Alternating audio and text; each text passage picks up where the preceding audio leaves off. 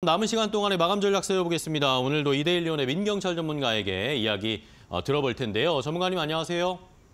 네, 안녕하세요. 민경철 전문가 인사드리겠습니다. 네, 반갑습니다. 자, 오늘 시장도 녹록지가 않습니다. 어제와 뭐 비슷한 패턴으로 하락 전환하려는 모습 보이고 있는데 어떻게 좀 마무리 준비하고 계십니까? 네, 일단은 뭐 1월 달에 테마주 형태로 이제 급등이 나왔던 종목들이 오늘 전방위적으로 좀 약세 흐름을 보여주고 있는 것 같습니다. 1월 초에 강세였던 전쟁 테마주 약세 보이고 있고요. 초전도체 관련주들 뭐 이제 이번 주 이제 그리고 지난 주까지 강세 보이다가 이제 월요일부터 무너지는 모습 이어지고 있는 모습이고 그리고 on device AI 인공지능 반도체 관련주들과 2차전지 소재 관련주들도 오늘 전체적으로 이제 좀 조정받는 모습을 보여주고 있는 것 같습니다.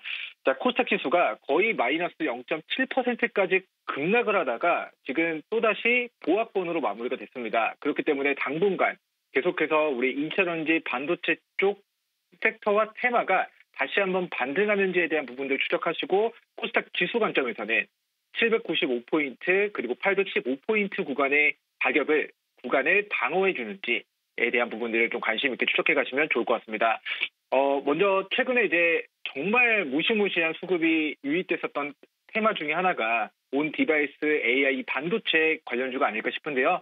자, 대장주로 움직였었던 제주 반도체 종목이 최근 4거래일 동안 이제 음봉을 만들어내고 있는 모습인데 자, 오늘 이제 주요 지지선인 27,500원 가격을 방어해주면서 분봉상 이중 바닥을 다진 모습을 보여주고 있습니다. 그래서 제주 반도체 종목이 26,000원과 그리고 27,500원 구간을 이탈하지 않으면서 반등이 나온다면 우리 반도체 종목들이 다시 한번 테마주 형태로 눌림목 구간에서 반등 가능성을 높게 좀 예측을 하시면 좋을 것 같고 제주 반도체가 2만 6천 원 구간을 이탈한다면 네, 다시 한번 네, 2만 2천, 2만 3천 수준까지 낙폭 확대할 수 있으니까 이 부분 조금 유념하시면 좋을 것 같습니다. 네, 자 말씀해 주신 이 저항선들 잘 저희가 라인을 잘 지켜보도록 하겠고 그러면 이제 남은 시간 동안에 어떤 종목 좀 더 주의 깊게 보고 계세요? 네, 먼저 어제 제가 종가 관심주로 소개를 시켜드렸던 네. 바이넥스라는 종목이. CMO, 바이오 관련주로 오늘 하루 만에 15% 이제 수익 실현이 된 것 같습니다. 먼저 축하드리도록 하겠고요. 자, 오늘은 저 PBR 관련주들의 세력들의 큰 손들의 이제 매수세가 강하게 유입된 것으로 추정이 됩니다. 그래서 종목은 하이스틸이라는 중소형 철강주를 소개를 시켜드릴 건데요.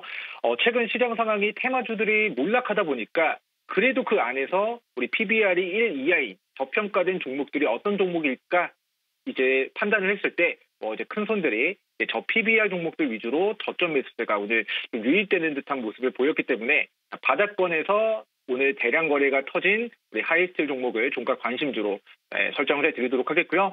자, 손절가는 3,000원, 3,100원 정도 잡고 대응하시면 될 것 같고요. 매수가는 현재 윗골이 달고 네, 오늘 오늘 장중의 상승을 반납한 영역이니 현재가 혹은 금일 종가 이하로 관심 있게 우리 종가 관심주 설정해 드리도록 하겠습니다. 네, 알겠습니다. 철강주 중에 하이스틸 오늘 마지막까지 저희도 한번 잘 공략해 보도록 하겠습니다. 오늘도 좋은 전략과 종목까지 알려주셔서 감사하고요. 다음 시간에 또 뵙겠습니다. 전문가님 고맙습니다. 감사합니다.